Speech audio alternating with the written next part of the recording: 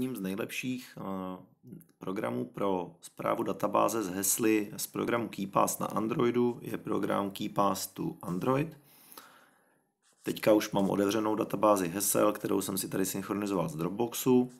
Pokud se chci podívat na ty záznamy, které tam jsou uložené, tak těch možností je několik. Buď to ručně vyberu konkrétní záznam a ten skopíruju do schránky, přepnu se do jiné aplikace a tam to zase vložím to stejné i pro uživatelské jméno nebo URL adresu.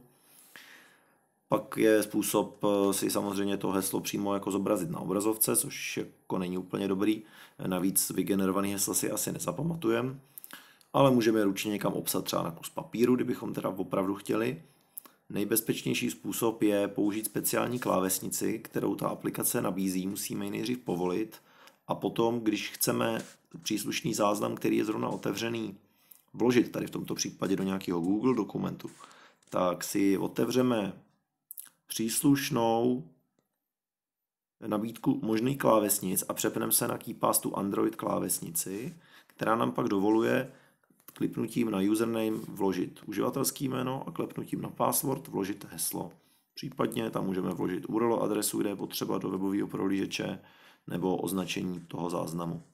Případně můžeme tou klávesnicí používat i toto. Pokud tady vidím, jste si všimli toho eh, keyboard nebo clipboard cleared, tak to je právě zpráva z KeyPassu, která nám řekla to, že předtím, když jsme si skopírovali heslo nebo uživatelský jméno do schránky, tak nám to zase z té schránky to heslo vymazalo, abychom ho omylem pak nevložili, nevložili někam, kam nechcem.